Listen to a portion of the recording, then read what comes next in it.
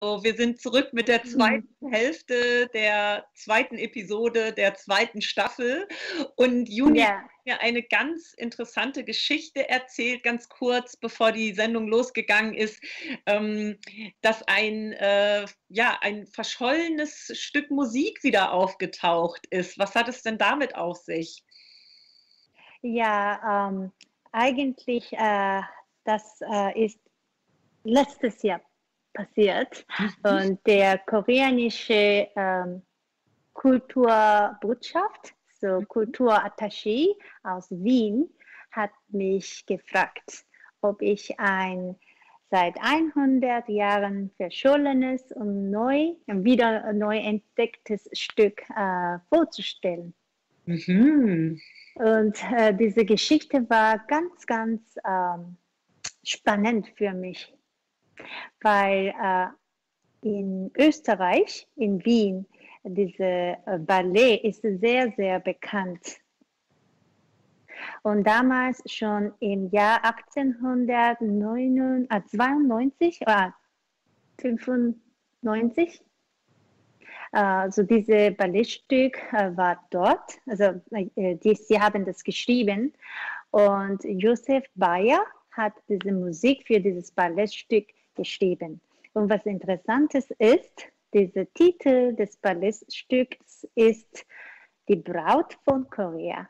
Ah, The Bride from Korea. That's the title yeah. of the um, uh, of the piece the of ballet, that appeared from. Uh, mm. I mean, where where did it come from? Where did they uh, find it? Do you know that? Um, so the academics and the professors and musicologists, they uh, with this cultural uh, they together find it, and this was very interesting for me. This ballet piece, uh, it's called Bride from Korea, because it was first time uh, played in Wien in 1897 uh, that's mm. really like uh, before 100 years 120 years ago wow so uh, it was very interesting that already at that time um, european countries like um, österreich uh, austria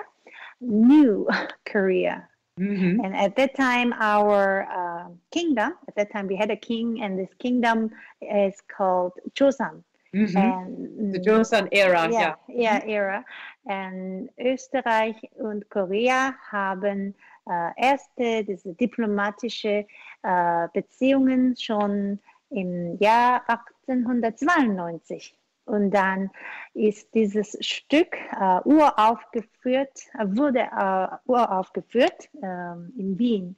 Und ich habe gehört, dass sie auch damals so viel Geld investiert haben, um, wie unglaublich viel Geld. Ich habe die Summe vergessen und ähm, die Kostüm und Choreografie und alles sehr interessant und es gab sogar auch Bild von damaligen Zeit und es zeigt auch diese koreanische Kostüm und auch wie wir damals ausgesehen haben, das kann man sehen.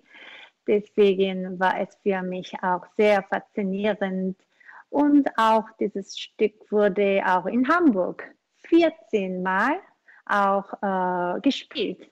Aber aus irgendeinem Grunde wurde es äh, verschwunden mhm. oder nicht mehr so gespielt, wurde nicht so mehr viel ja. mehr gespielt, weil vielleicht sie vermuten, dass es zu viel Geld kostet oder ich weiß nicht warum oder viele, hm, viele rechtliche Probleme damals hatten, das weiß ich nicht, aber das war so historisch bedeutend und das war so faszinierend für mich auch. Deswegen ich habe sofort ja gesagt und Sie können auch im YouTube diese Original als Stücks auch ähm, sehen, dass mhm. die koreanische klassische Musiker in Wien dieses, dieses Stück als Ensemble gespielt haben. Und heute habe ich sehr spontan diese Idee gehabt, weil heute ähm, unser Thema ist über Korea. Und, ah, das kann ich heute vorstellen, äh, vorstellen. Und dann ich habe ihm gesagt, und er hat mir auch eine gute Nachrichten äh, geschickt, dass sie auch komplette Musiknoten äh, äh, jetzt alle entdeckt und auch sogar mh, hm, veröffentlicht mhm. von einem äh, Musikverlag als Noten. So, das war sehr schön und gut, historisch.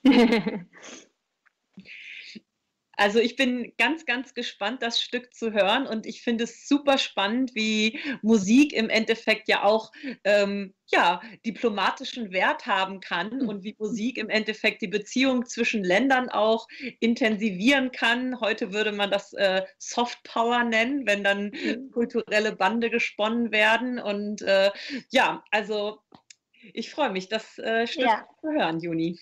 Ja, das ist äh, Walz, Wiener Walz äh, Stil. Mhm. Und ich kann auch mit meinem eigenen Fantasie äh, auch dazu äh, geben. Sehr gerne. Und dann improvisieren weiter. Ja. Etwas Orientalisches von Choson Zeit. sehr, sehr gut. Das wollen wir am liebsten, wenn du improvisierst, Juni. Ja.